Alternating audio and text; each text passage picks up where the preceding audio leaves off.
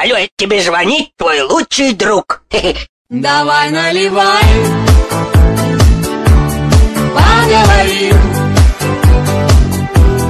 Будущий день покажется светлым, как сто балерин. И если не лень, то повторим.